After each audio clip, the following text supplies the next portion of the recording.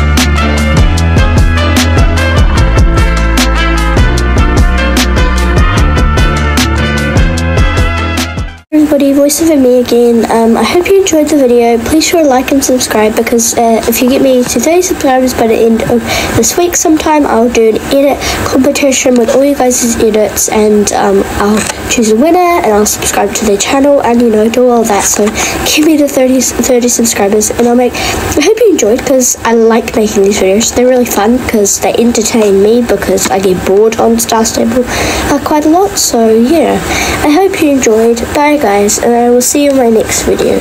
Oh, wait, one more thing. Uh, I'm going to be posting a few more edits today. So, bye guys, and I'll see you in my next video. Bye!